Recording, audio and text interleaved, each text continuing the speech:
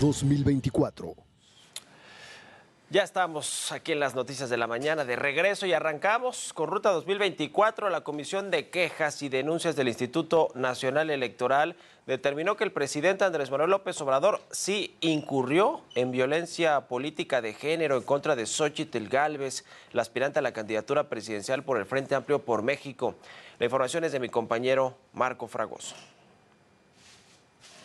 La Comisión de Quejas y Denuncias del Instituto Nacional Electoral avaló emitir medidas cautelares contra el presidente Andrés Manuel López Obrador para que se abstenga de referirse a Xochitl Gálvez con expresiones que puedan constituirse como violencia política de género.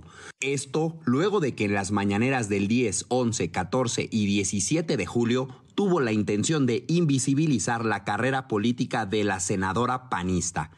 Por ello, la presidencia de la República deberá retirar o modificar las mañaneras de estas fechas.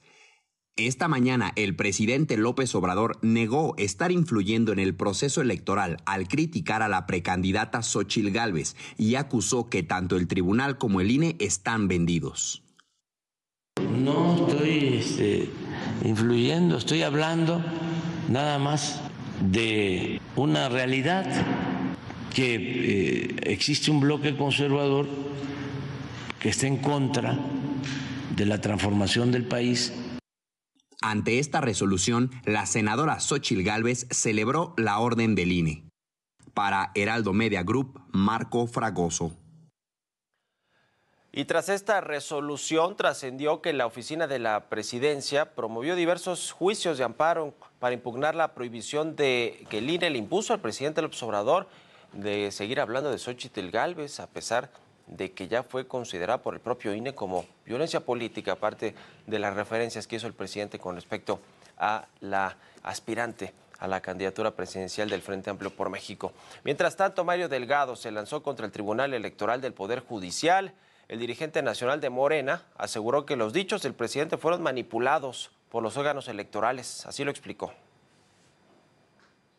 Esto es muy grave pues lo que está haciendo el tribunal es tomar una decisión a partir de poner en boca del presidente palabras que nunca dijo. Claramente las frases que refiere el tribunal están completamente alteradas y es obvio que la oposición utiliza de manera grotesca un tema tan delicado como es la violencia de género para beneficiarse.